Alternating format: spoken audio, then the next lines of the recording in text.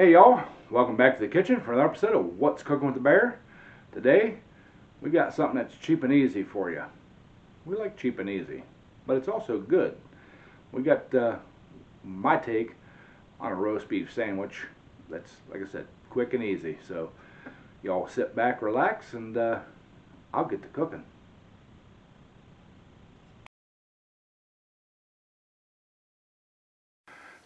Alright y'all, like I said, this is going to be a cheap, easy uh, meal. Uh, first thing we're going to do is uh, we're going to make us up some Texas toast garlic toast.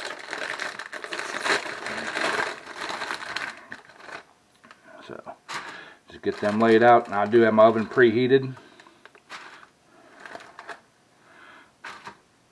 And just cook it according to the box, you know.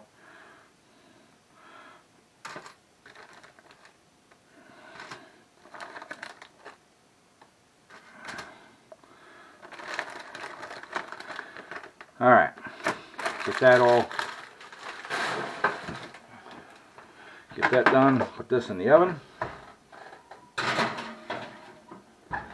And then to get our beef going, I got me some onions sliced up thin here with some garlic and some butter. So we're going to put that on uh, medium high heat. We're going to get that sauteed up. And then we have to make some au jus. And we're just using the packet au jus. So, got two cups of water here because that's what the package calls for. And then, I'm gonna dump that in. Get us a little stirring device here. Get that all whipped up in there. Of course, you guys can't see anything because my arm's in the way. So.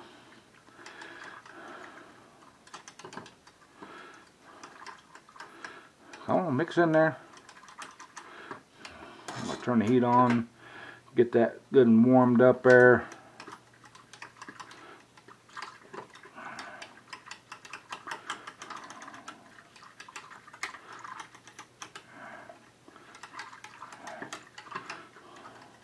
I need one of them power stirrer things, deals.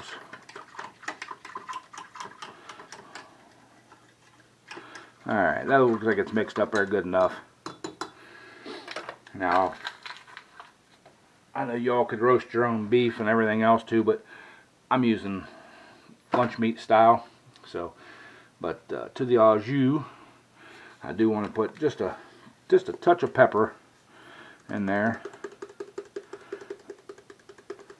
because I like a little peppery on mine. So, all right, I'm gonna get these onions and garlic all sautéed up and everything. Get the uh, au jus cooking, and uh, we'll bring you guys right back. All right, y'all, got our au jus. That's uh, all kind of heated up, so we're gonna start putting our beef in there.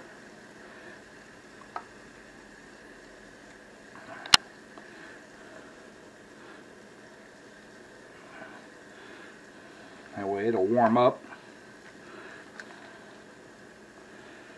And our onions are just about softened. So we're gonna, after we get the beef in here, we'll uh, pull the lid and reduce the juices and stuff from the uh, onions. Kind of get them caramelized a little bit. And then uh, we're going to add those to that just to give it a little extra flavor. So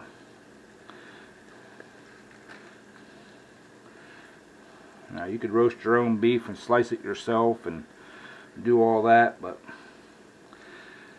like I said, cheap and easy. It's the way we like them. So, all right, get that pushed down in there. All right, we're just gonna let that simmer and warm up. Get rid of our little container here. I'm going to pull that off of there. Our garlic's already starting to brown. And our garlic bread's done. So now I'm going to throw it under the broiler to to uh, get it browned up a little bit because I like you know a little bit of brownness. So trying to find my oven mitt. There we go. Make sure that it's oh yeah, she's done. So we'll let her under the under the broiler there for a few. Make sure you keep an eye on it because you don't want it burnt. Just want it kind of crispy.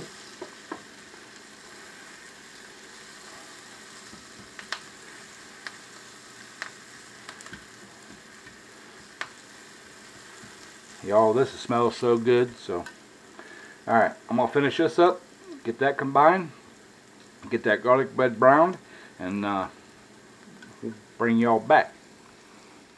All right, y'all, got those out of the oven, off from the broiler. This one got a little warm, but it'll be all right. So now we're gonna take and push that and make a pocket down in there. We got to have some place for our beef.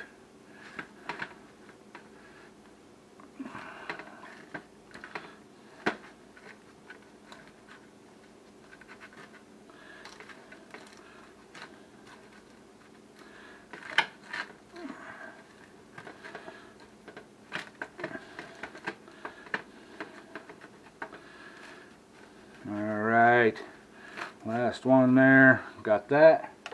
Now, I'm going to use two different kinds of cheeses because I'm going to make two different kinds. First four, we're going to do four and four, are going to be a provolone. So we got that. And then I love me some Swiss. So we're going to make four of them out of Swiss.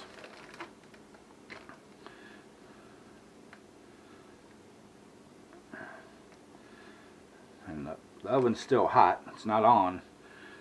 We're going to take these, pop them back in the oven where it's good and warm, and let that cheese melt. So, do that. And as you can see, we got the uh, we got the uh, beef over here getting all nice and warm and yumminess. So Mmm, that smells so good, y'all. Got them onions and garlic in there. So, alright. Uh, I'm gonna let that cheese melt and then uh, we'll bring you guys back and get this all thrown together. Alright, y'all. Our cheese is all nice and melty now. Woohoo! Look at that. So, I'm going to bring our beef over here. We're going to put two, three pieces of that roast and roast beef in each one.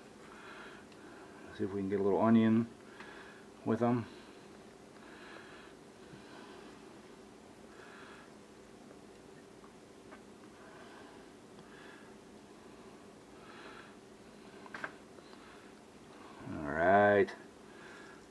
Mm-hmm.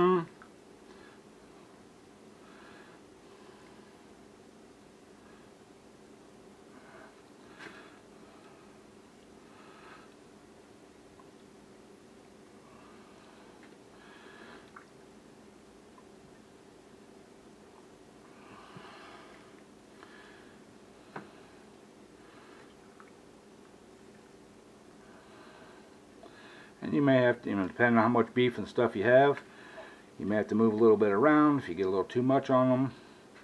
But usually two or three slices per uh, slice of bread. Works great.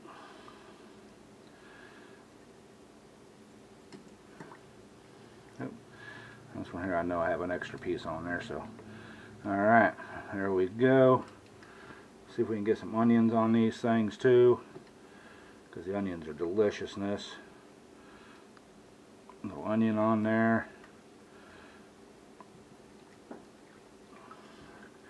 And y'all, in my opinion, the onion and sauteed onions and garlic are what makes this recipe so good.